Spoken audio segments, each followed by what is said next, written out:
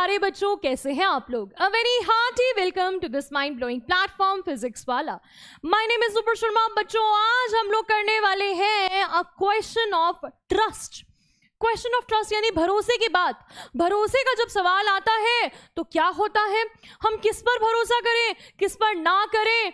ठीक है? ये है। भाई, ये जो चैप्टर हम लोग पढ़ने वाले हैं ना, इस चैप्टर को पढ़कर हमें बड़े सारे मुहावरे याद आते हैं। ठीक है? तो चलो, हम लोग चैप्टर को जो है वो देखते जाते हैं, उसका छोटा सा माइंड मैप कर लेते हैं, ताकि हम इन मुहावरों को समझ पाए। तो देखिए, सबसे पहले इसके मेन कैरेक्टर्स क्या हैं? यहाँ पर मेन कैरेक्टर्स है Horace Danby the lady in red Horace Danby Horace Danby जो है बेसिकली यहाँ एक चोर की बात हो रही है। ये कैसा चोर है? ये कैसा चोर है जो साल में सिर्फ़ एक बार चोरी करता है? एक बार चोरी करता है और कैसे चोरी करता है? इतना जो है वो चोरी कर लेता है कि पूरा बारह महीने चले। इसे किताबें पढ़ने का बहुत शौक है, ठीक है? वेरी रेयर और एक्सपेंसिव किताबें ये खरीदता है, उन्हें पढ़ता है, ठीक है? तो हमेशा जब ये चोरी करता है तो इसे लगता है कि भाई मैं तो चोरी बड़े अच्छे रीजन से कर रहा हूँ। और मैं साल में एक ही बार तो चोरी करता हूँ। बाकी समय पर ये ताले चाबी का काम करता है, ठीक है? लॉक्स एंड कीज जो है ये बनाता है, बड़ा स्मार्ट है। काम भी वही करता है, ताले चाबी ही तोड़ता है, ठीक है? घर में किसी के घुसता है और काम भी जो है वो लॉक्स वगैरह का ही करता है। साथ ही साथ इसके बारे में बताया गया है कि एक अधेड़ उम्र का आदमी है, ठीक है, ज़्यादा यंग नहीं है, शादी नहीं हुई है, इसकी अनमैरिड है। बीमार रहता है थोड़ा सा, ज़्यादा वैसे तो ठीक रहता है, लेकिन इसको कभी कभी हे फीवर हो जाता है। हे फीवर बहुत इंपॉर्टेंट है यहाँ पर। हे फीवर का मतलब होता है बच्चों, जिसमें कभी कभी क्या होता है, मौसम के हिसाब से किसी पर्सन को एलर्जी हो जाती है, ठीक है? एलर्जी हो जाती है जिसमें पर्सन को स्नीजिंग यानी कि छींके बहुत आती हैं। ठीक है? किसी किसी को फ्लावर्स की वजह से आती है, किसी फ्लावर को सूंघ कर पर्टिकुलरली हे फीवर इसलिए कहा जाता है क्योंकि बेसिकली जब ये सीज़न होता है ना, जब हम लोग हार्वेस्टिंग करते हैं क्रॉप्स की तो उस टाइम पे जैसे क्रॉप्स को ऐसे हम लोग उनकी जब विनोइंग वगैरह करते हैं तो छोटे छोटे दाने नाक में चले जाते हैं, किसी को बहुत छींके आती हैं। इसलिए हे फीवर यहाँ कहा गया है। ये बहुत इंपॉर्टेंट है इस चैप्टर में। ठीक है, इसको हे फीवर है ऐसी ऐसी चीज़ों को सूंघ कर जो है इसको छींके आनी शुरू हो जाती है। एलर्जी है इसको। दूसरी तरफ़ है एक लेडी इन रेड। यहाँ हम एक औरत से मिलने वाले हैं, ठीक है? और औरत बहुत स्मार्ट है भैया। औरत भी एक चोर है और वो कैसे एक चोर दूसरे चोर को बुद्धू बना देता है? यहाँ इस चैप्टर में हम लोग यही पढ़ने वाले हैं।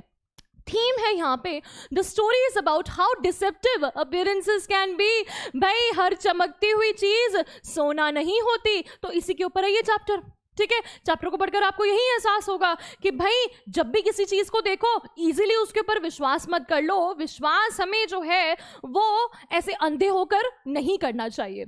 टाइटल क्या है इस चैप्टर का? क्वेश्चन ऑफ़ ट्रस्ट कहने का मतलब क्या है यहाँ पर?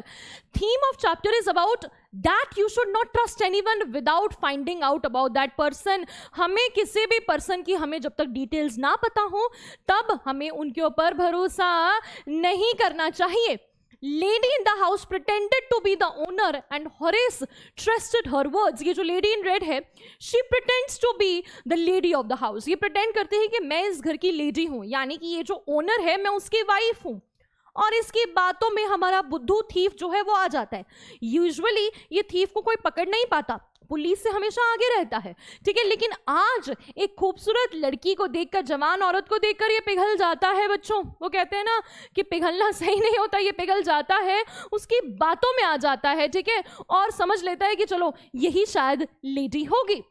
She was a thief too वो भी एक चोर थी, हॉरेस को ये उसने उसके ऊपर बिल्कुल भी शक नहीं किया, ठीक है? इंस्टेड उसने ऊपर, उसके ऊपर क्या किया? ट्रस्ट करा, उसके ऊपर भरोसा कर लिया, ठीक है? क्वेश्चन ऑफ़ ट्रस्ट, सवाल था ना किसका? ट्रस्ट का तो उसने उसके ऊपर ट्रस्ट किया। इसीलिए ये जो ट्रस्ट हॉरिस ने कर लिया लेडी इन रेड के ऊपर बिना कोई क्वेश्चन करे।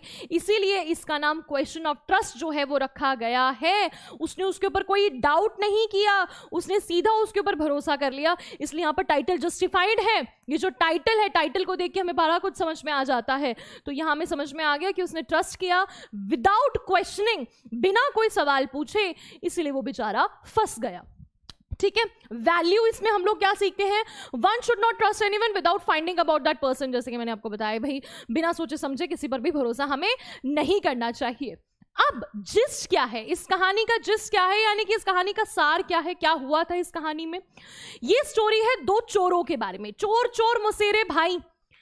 इस चैप्टर में जो मेन चीज़ हम लोग पढ़ते हैं, भाई, क्या पढ़ते हैं कि ना एक जैसे ब्रो कोड होता है ना ब्रो कोड का मतलब होता है जो लड़के हैं, जो दोस्त होते हैं, वो आपस में एक दूसरे की बात को समझ जाते हैं। वैसे एक थीफ कोड भी होता है। थीफ कोड का मतलब होता है कि चोर चोर मोसेरे भाई, ठीक है? आपस में एक दूसरे को वो समझ जाते हैं, एक चोर दूसरे चोर को धोखा नहीं देता। पर यहाँ दो ऐसे चोरों की बात है जिसमें एक चोर ने दूसरे चोर को धोखा दे दिया, ठीक है? और क्या करा? सारा माल खुद खा लिया। हुआ क्या? इसमें क्या है? ये दोनों के दोनों एक ही सेफ़ को जो है वो चोरी करना चाहते हैं। सबसे पहले हम पहले बर्गलर से बर्गलर से मिलते हैं, जिसका नाम है हॉरेस डैनबाई। हॉरिस डैनबाई के बारे में मैंने आपको बताया ही है कि हॉरिस डैनबाई एक ऐसा पर्सन है जो कि अनमैरिड है अराउंड फिफ्टी ईयर्स ओल्ड है। ठीक है, अपने नौकर के साथ रहता है और उसका ताले चाबी का बिज़नेस है, ठीक है? लॉक्स एंड कीज का जो है उसका बिज़नेस है। उसका बिज़नेस इतना अच्छा चल रहा है कि उसके पास एटलीस्ट दो असिस्टेंट्स हैं। जी हाँ उसके पास दो असिस्टेंट्स भी हैं, यानी कि धंधा सही चल रहा है उसका। लेकिन उसके अंदर एक ही बुरी आदत है कि वो साल में एक बार चोरी करता है, इतना पैसा इकट्ठा कर लेता है कि जिससे वो रेयर एंड एक्सपेंसिव किताबें मतलब खरीद पाए। सबके अपने अपने शौक होते हैं, उसका शौक होता है इस तरह की किताबों को पढ़ना, खरीदना, उनकी क्यूरेशन करना, यानी कि उन्हें इकट्ठा करना। उसका एक सीक्रेट एजेंट है जिससे वो किताबें खरीदता है। यहाँ अब उसने बड़ी अच्छी एक रॉबरी प्लान की है। उसने डिसाइड करा है कि मैं ना चोरी करने वाला हूँ। एक सेफ़ जो है, वो रॉब करना चाहता है। वो देखता है कि जो ओनर है ओनर ने घर की फ़ोटोज़ एक मैगजीन में डाली होती है। वो कहता है, कितने बुद्धू होते हैं ना ये जो अमीर लोग होते हैं, कितने बुद्धू होते हैं। और वाकई में वो इंसान इतना बुद्धू होता है कि वो अपने घर की सारी फ़ोटोज़ यानी कि पूरा का पूरा नक्शा भी डाल देता है कि मेरे घर में यहाँ ये है, यहाँ वो है। साथ ही साथ वो ये भी बताता है कि वहाँ एक पेंटिंग है और उस पेंटिंग के पीछे एक सेफ़ है।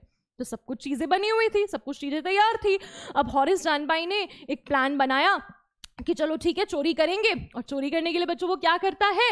वो सोचता है कि चलो ये घर के जो दो नौकर हैं, उसे पता होता है कि ये मूवी देखने जाने वाले हैं, तीन चार घंटे बाद ही वापस आएँगे। और वो पहुँच जाता है क्या करने? एक सेफ़ में चोरी करने, उसे पता है कि यहाँ बहुत सारी ज्वेलरी रखी हुई है। वहाँ क्या होता है? वहाँ पड़े होते हैं फ्लावर्स फ्लावर्स को देखकर, क्योंकि उसे हे फीवर है, देखकर क्या? फ्लावर्स को सूंघकर छींक छींक मार देता है। और वो छींक मारते उसे कौन देख लेती है? एक यंग लेडी जो कि उसे बताती है, भाई, अच्छी कॉन्वर्सेशन उनके बीच में एक बहुत ही स्मार्ट कॉन्वर्सेशन चलती है। लेडी उसे कहती है कि, मैं इस घर की ओनर हूँ। भाई, ये बंदा डर जाता है? मतलब हॉरिस जैन भाई डर जाता है कि ये तो मुझे पुलिस को पकड़वा देगी। लेकिन वो उसे कहती है कि, चलो, मेरा एक फेवर है तुमसे। लोग सोच रहे थे कि मैं तो लंदन में होंगी, लेकिन मैं वापस आ गई हूँ, ठीक है? लेकिन ना, आज मुझे रात को किसी पार्टी में जाना है और मुझे ज्वेलरी पहननी है। लेकिन मैं जो है ना सेफ़ का नंबर जो है, वो भूल गई हूँ। अब ये समझ जाता है कि ठीक है लेडी सोच रही होगी कि मैं सेफ़ को तोड़ दूँ और उसमें से ज्वेलरी निकाल लूँ। इस तरह से लेडी क्या करती है, उसे बुद्धू बना देती है। और जो ये हॉरिस जानबाई है, जो हमेशा बहुत केयरफुल रहता था, बहुत ध्यान रखता था, हमेशा ग्लव्स व्लव्स पहनता था, कहीं फिंगरप्रिंट्स नहीं छोड़ता था, उसने आज क्या किया? ग्लव्स उतारे। ठीक है ग्लव्स उतार दिए थे, क्यों उतारे थे? क्योंकि जब वो लेडी से बात करा था तो लेडी सिगरेट पीने लगती है। अपने सिगरेट में, भाई एक ना जिसे कहते हैं, ये भी गुड मैनर्स में आता है। ठीक है एटिकेट्स में आता है कि कोई सिगरेट पी रहा है तो उसको फटाफट से अपना लाइटर ऑफ़र करें। तो हॉरिस जानबाई ने फटाफट से लाइटर मांगा और लेडी को इम्प्रेस करने के लिए लाइटर ऐसे उसके सामने चलाया अब उस प्रोसेस में उसने ग्लव्स उतार दिए। अब ग्लव्स उतार दिए और ग्लव्स उतारे उतारे सेफ़ को तोड़ दिया। ठीक है लेडी भी कहती है हाँ हाँ तोड़ दो तोड़ दो। मेरे पति के आने से पहले मैं उसे ठीक करा दूँगी। आज रात को मुझे ज्वेलरी पहनना बहुत ज़रूरी है। हॉरेस उसके लिए सेफ़ तोड़ देता है। वहाँ अपनी फिंगरप्रिंट जो है वो छोड़ देता है। लेडी जो है वो जूल्स को इंजॉय करती है। हॉरेस जैन भाई भी उसे प्रॉमिस करके चला जाता है कि अब के बाद मैं कभी चोरी नहीं करूँगा। मैं अपनी चोरी की आदत को छोड़ दूँगा। ठीक है? क्योंकि लेडी उसे धमका रही होती है ना कि मैं पुलिस को बता दूँगी तो वो कहता है, आज के बाद मैं कभी चोरी नहीं करूँगा, मैडम। ठीक है? मैं बहुत शरीफ आदमी बनने वाला हूँ। दो तीन दिन तो शरीफ रहता है। हॉरेस जैन भाई फिर तीसरे दिन सोचता है कि चलो चोरी कर लेता हूँ। लेकिन बच्चों पकड़ा जाता है। कैसे? फिंगरप्रिंट्स की वजह से। He gets a term in prison now he is the assistant librarian in prison अब भैया आयरनी देखो, वो असिस्टेंट लाइब्रेरियन बन जाता है प्रिजन में जाके। किताबों का बहुत शौक था ना? तो किताबों के बीच में ही जाके असिस्टेंट लाइब्रेरियन बन जाता है कहाँ? जाकर जेल में। ठीक है? तो यहाँ क्या होता है? चोर ने चोर को धोखा दिया। वो चोर चोर मोसेरे भाई वाली बात यहाँ सच नहीं हुई। भाई चोर क्या कर सकती थी? उसे कह सकती थी कि चलो आधा आधा माल लेके चले जाते, आधा तू रख ले, आधा मैं रख लेती हूँ। पर नहीं भाई, उसने सोचा पूरा ही मैं रखूँगी। चलो बुद्धू जो है हम इसे बना देते हैं। दोनों के कैरेक्टर्स को हम लोग समझ लेते हैं। हॉरिस जैन भाई about fifty years old and unmarried usually वो हमेशा ठीक रहता है, लेकिन उसे कभी कभी हे फीवर हो जाता है। समर में अटैक आ जाता है हे फीवर का एलर्जीज जो है उसे हो जाती हैं। Made locks was successful enough at is business respectable but not completely honest usually लोग हॉरिस जानबाई के बारे में क्या सोचते थे कि वो बहुत ऑनेस्ट आदमी है, बहुत रिस्पेक्टेबल आदमी है, लेकिन सच्चाई ये थी कि वो इतना भी ज़्यादा ऑनेस्ट नहीं था, इतना भी दूध का दूल्हा नहीं था। उसे रेयर और एक्सपेंसिव किताबें पसंद थी, इसलिए हर साल एक तिजोरी तोड़ कर उसमें से चोरी करना करता था, हर साल बड़ी केयरफुली प्लान करता था, कभी पकड़ा नहीं गया था। एक ही बार पकड़ा गया था बहुत साल पहले, ठीक है? Stole enough to last for twelve months इतना चोरी कर लेता था कि बारह महीने मस्त ज़िंदगी कटे उसकी। Secretly bought the buck books he love to an agent secretly जो है, वो किताबें खरीदता था उस एजेंट से, लेकिन बाद में बेचारा बुद्धू बन गया, ठीक है? लड़की के चक्कर में फंस के जो है, वो बेवकूफ़ बन जाता है। यहाँ है विमेन इन रेड ये लेडी लेडी कैसी होती है? Young and beautiful young and beautiful सी लड़की है, ठीक है? उसने बिल्कुल रेड कलर की ड्रेस पहनी होती है, इसलिए उसे लेडी इन रेड कहा जाता है, जब उसे पहली बार हॉरिस भी देता है, देखता है तो वो बड़ी अच्छी उसने रेड ड्रेस पहनी होती है ज्वेलरी पहनी होती है perfectly fits in rich women's attire and accent perfectly fit हो रही होती है वो रिच वुमेन के अटायर में। यानी कि एक अमीर औरत के कपड़ों में एकदम जच रही होती है, बिल्कुल उसका एक्सेंट भी बिल्कुल अमीरों जैसा होता है। यूजुअली जो चोर वगैरह होते हैं, वो उनका एक्सेंट कैसा ही होगा, वो कैसे ही दिखते होंगे, चोर की तरह दिखते होंगे, पर ये चोर की तरह बिल्कुल नहीं दिख रही थी। वो बड़ी स्मार्ट दिखती है, इसीलिए तो हॉरिस जान भाई बुद्धू बन जाता है, उसकी बातों में आ जाता है कि ये तो बड़ी स्मार्ट सी लेडी है, ये कहाँ चोर होगी? इसलिए बेचारा उसके ऊपर शक नहीं करता।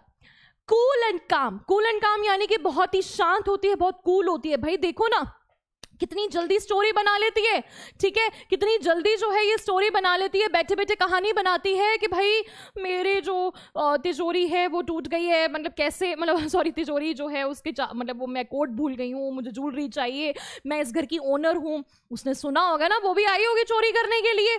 घर में उसने देखा, यार, एक चोर तो ऑलरेडी है।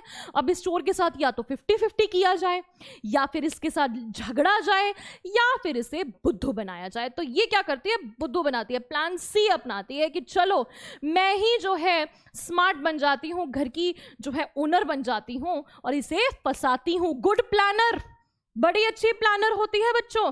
इतना बढ़िया प्लान करती है कि एक मंझे हुए खिलाड़ी को धूल चटा देती है।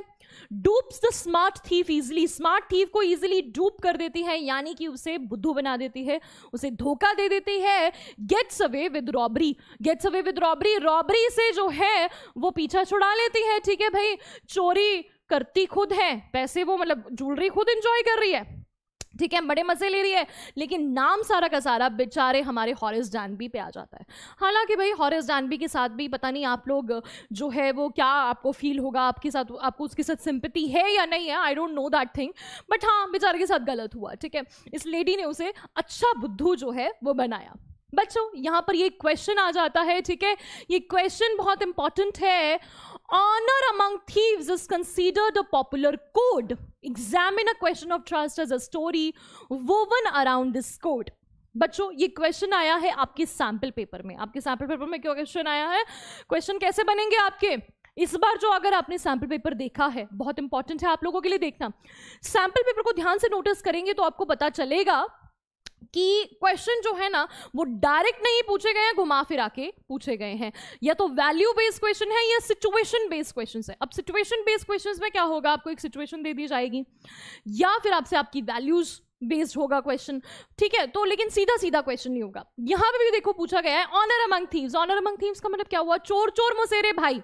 एक्चुअली में इसका हिंदी ट्रांसलेशन यही होगा कि जो चोर हैं मतलब कोई भी चोर को तो आप ले लो, मौसेरे भाई हो गए, यानी कि कजन्स होते हैं वो, यानी कि एक दूसरे के सीक्रेट जो है वो रखते हैं। एक चोर दूसरे चोर को जो है वो हमेशा मानता है। जैसे मैंने बोला ना ब्रो कोड तो उनके बीच में थीफ कोड होता है कि चोर जो है वो समझ जाएगा अच्छा यार, ये भी चोर है, ये तो मेरा दोस्त है, ठीक है, तू भी चोरी करने आया मैं भी चोरी करने आऊँ, चलो, आपस में एक डील बनाते हैं। तो हम लोग क्या देखते हैं एंड में भी आपने पढ़ा होगा कि हॉरिस डानबी को हमेशा गुस्सा आ जाता था जब भी कोई ऑनर अमंग थीव्स की बात करता था। जब भी कोई कहता था ना कि यार चोर चोर तो आपस में दोस्त होते हैं, ठीक है, एक दूसरे के साथ मिल बांट कर खाते पीते हैं, लेकिन यहाँ उसको एक चोर नहीं, बुद्धू बनाया होता है। तो ये पॉपुलर कोड है। इसको एग्जामिन करो आप। ये जो स्टोरी इसके आसपास बुनी गई है। जी हाँ एग्जामिन करो। ये स्टोरी ऑब्वियसली इसके आसपास ही बुनी गई है। Usually there is a bro code usually there is a thief code ठीक है? Usually there is a popular code honour among thieves but this can not be seen in this story इस story में आपको ये बिल्कुल नज़र नहीं आ रहा होता है। यहाँ what happens that a thief one thief dupes the other thief यहाँ एक थीफ दूसरे थीफ को डूब कर देता है, उसे बुद्धू बना देता है और उसे फंसा देता है। ठीक है? The thieves did not distribute distribute the you know जो भी उन्होंने थेफ्ट जो किया था, उसको डिस्ट्रीब्यूट करने की बजाय एक दूसरे पर्सन पर भी उन्होंने जो है, एक थीफ ने दूसरे पर्सन के ऊपर जो है, वो सारा का सारा ब्लेम डाल दिया। And one of the thief he enjoyed ठीक है she enjoyed the jewels but the other person had to suffer ठीक है? तो इसके अराउंड आप कैसे लिखोगे? कैसे उसको एक्सप्लेन करोगे? मैंने आपको बता दिया है। आपको लिखना है no this code was not followed ठीक है? This story that was woven around here this popular code was not followed by thief ठीक है? What she does was what she does, she did what she did. She blamed, she put the blame on other thief. Okay okay? तो ये जो है आपको लिखना है। इस तरह के क्वेश्चन जो है आपको एग्ज़ाम में आएँगे। हर अब आपका जो भी माइंड मैप होगा, उसमें मैं सैंपल पेपर बेस्ड क्वेश्चन जो है वो लेकर आऊँगी। ठीक है? सैंपल पेपर के क्वेश्चन को हम लोग डिस्कस करेंगे। आपस में डिस्कस करेंगे कि कैसे आप लोग इसे कर सकते हो, फिर आप उसे अटेम्प्ट करेंगे, ठीक है? और भी वैल्यू बेस्ड क्वेश्चंस हम लोग लेकर आएँगे साथ साथ में, ठीक है? और भी सिचुएशन बेस्ड क्वेश्चंस हम लोग बना सकते हैं। एंड में फिर एक दिन क्या करेंगे, हम सारा सैंपल पेपर के क्वेश्चंस का सोल्यूशन भी आपको प्रोवाइड करेंगे। ठीक है? ऑलरेडी वैसे सोल्यूशन दिया गया है, लेकिन हम लोग अलग से एक वीडियो बनाएँगे, जिसमें इन सभी, ये जो क्वेश्चन जैसे घुमा फिरा के पूछे गए हैं, उनका कैसे आंसर लिखना है, कैसे उन्हें अटेम्प्ट करना है, वो मैं आपको बताऊँगी। तो चलिए बच्चों आई होप आपको ये चैप्टर जो है समझ में आए, इसका माइंड मैप आप फटाफट से अपने मन में बना पाएँगे, ठीक है? और दो मुहावरे याद रखने हैं चोर चोर मोसेरे भाई, और हर चमकती हुई चीज़। सोना नहीं होती लुक्स आर डिसेप्टिव लुक्स को देखकर धोखा मत खाना, ठीक है? सबसे पहले पर्सन को अच्छे से जान लेना, फिर जाकर उन पर भरोसा करना। चलिए बच्चों, मिलते हैं नेक्स्ट वीडियो में। Till then take care bye bye